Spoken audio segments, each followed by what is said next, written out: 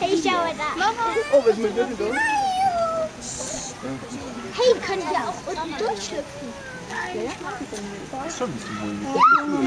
Deswegen ist ja so eine